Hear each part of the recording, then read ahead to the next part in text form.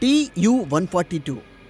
శత్రువుపై సెకెనుకు ఆరు వందల తూటాలు పేలుస్తూ అదే సమయంలో శత్రు స్థావరాలను నిమిషానికి వెయ్యి ఫోటోలు తీస్తూ గంటకు ఎనిమిది వందల కిలోమీటర్ల వేగంతో ప్రయాణించగలిగే సామర్థ్యమున్న యుద్ధ విమానం ఇది టర్బో ప్రొపెల్లర్ ఇంజన్లతో ప్రపంచంలోనే అత్యంత వేగంగా ప్రయాణించగల యుద్ధ విమానాల్లో ఇది కూడా ఒకటి. మూడు దశాబ్దాల పాటు దేశ రక్షణకు అంకితమైన ఈ యుద్ధ విమానం విశాఖ సాగర తీరంలో మ్యూజియంగా కొలువు తీరింది.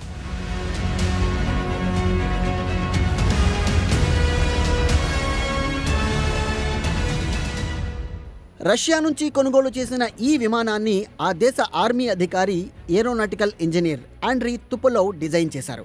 పదహారు గంటల పాటు నిర్విరామంగా గగనంలో విధులు నిర్వహించే సామర్థ్యమున్న టీయు వన్ ఫార్టీ టూ యుద్ధ విమానం తన ముప్పై ఏళ్ళ సర్వీస్లో ఎప్పుడూ ఒక చిన్న ప్రమాదానికి కూడా గురి కాలేదు. పంతొమ్మిది వందల ఎనభై ఎనిమిది నుంచి నావికా దళంలో మొదలైన ఈ యుద్ధ విమాన సేవలు రెండు వేల పదిహేడులో ముగిశాయి. కెమెరా ఒకటి ఉంది. ఆ కెమెరా వన్ మినిట్లోనే వన్ వెయ్యి ఫోటోలు తీస్తుంది.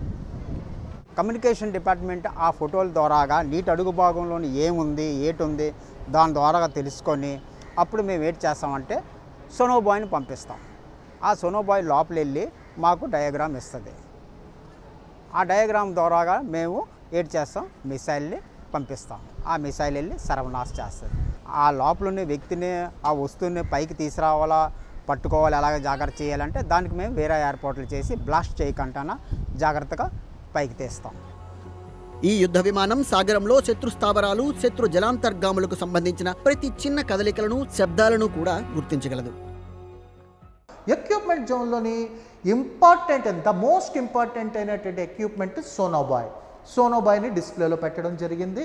అది ఇంపార్టెంట్ ఎందుకంటే మనం మాట్లాడుకున్నట్టుగా ఈ aircraft anti submarine warfare role కాబట్టి అంటే ఇటు నీటి అడుగునున్నటువంటి సబ్మరైన్ని వెంటాడి వేటాడడం కోసం కాబట్టి దానికంటూ మనకు ఒక ఎక్విప్మెంట్ కావాలి.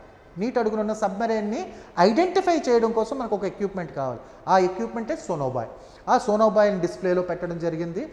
సోనోబాయ్ ఏమీ లేదండి. అది ఏమిటంటే ఎయిర్ క్రాఫ్ట్కి ఏదైతే ఇన్ఫర్మేషన్ వచ్చిందో పైలట్స్ దాన్ని నీటిలోకి జారబడించడం జరుగుతుంది.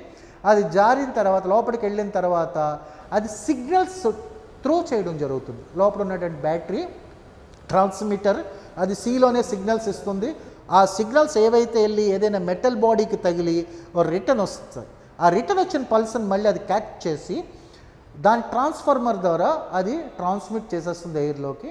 ఆ ట్రాన్స్ ఆ ట్రాన్స్మిట్ చేసినటువంటి సిగ్నల్స్ని ఎయిర్లో ఉన్నటువంటి ఎయిర్క్రాఫ్ట్ క్యాచ్ చేసి దాన్ని డీకోడ్ చేసుకొని ఆ సబ్మెరైన్ అనేది ఎంత డెప్త్లో ఉంది ఏ డైరెక్షన్లో వెళుతుంది ఏ స్పీడ్లో వెళుతుంది అది ఏ క్లాస్ సబ్మెరైన్ ఇవన్నీ వాళ్ళు pilot and other air crew వాళ్ళు దాన్ని అంతా డీకోడింగ్ చేసుకొని అకార్డింగ్లీ దాన్ని నాశనం చేయడం కోసం బాంబా మిస్సైల్ యూజ్ చేయాలా ఇది ఆలోచించి ఆ ఎక్విప్మెంట్ని డ్రాప్ చేయడం జరుగుతుంది. బాంబ్ కానీ మిస్సైల్ కానీ. ఆ విధంగా సబ్మెరైన్ని డిస్ట్రాయ్ చేయడం జరుగుతుంది.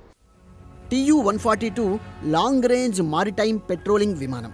దీని పొడవు యాభై రెండు మీటర్లు వెడల్పు యాభై మీటర్లు ఎత్తు పద్నాలుగు మీటర్లు. ఇంధనం నింపుకున్న తరువాత దీని బరువు లక్షా ఎనభై ఐదు వేల కిలోల నుంచి లక్షా తొంభై ఐదు వేల కిలోల వరకు ఉంటుంది. గాలిలోనే ఇంధనం నింపుకోగలిగే వ్యవస్థను కలిగి ఉండటం దీని ప్రత్యేకత. ఈ aircraft TU one forty two యొక్క ఎయిర్క్రాఫ్ట్లోని ఇంపార్టెంట్ అయిన ప్లేస్లో నుంచి ఉన్నాము. దీన్ని డ్రాప్ జోన్ అంటారు.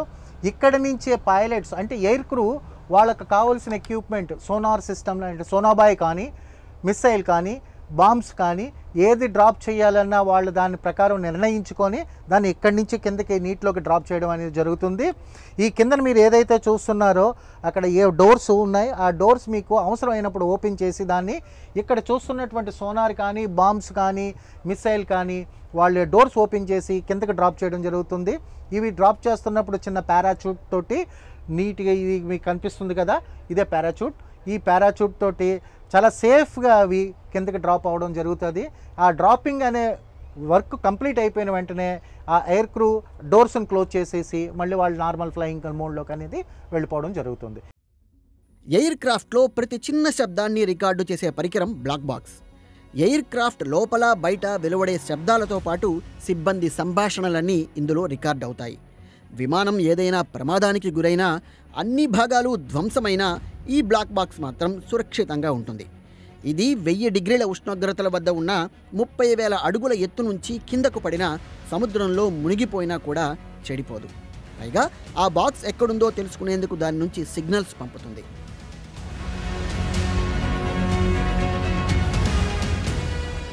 టియు వన్ ఫార్టీ టూ యుద్ధ విమానంలో నిజంగా ప్రయాణించిన అనుభూతిని పొందేందుకు సిమ్యులేటర్స్ను కూడా ఏర్పాటు చేశారు. యుద్ధ విమానంలో వ్యవస్థలు సిబ్బంది పనితీరు అత్యవసర సమయాల్లో ఉపయోగించే లైఫ్ సేవింగ్ బోట్లు పారాచూట్స్ కూడా ప్రదర్శనలో ఉంచారు. అలాగే pilot observer navigator gunner signaller ఇంజనీర్ల నమూనాలు రక్షణ రంగంలో ఇచ్చే వివిధ అవార్డులను సందర్శకుల కోసం ప్రదర్శనకు ఉంచారు. యుద్ధ విమానం మొత్తం పనితీరును ఆడియో విజువల్స్ జోన్లో పది నిమిషాల వీడియోతో వివరిస్తారు.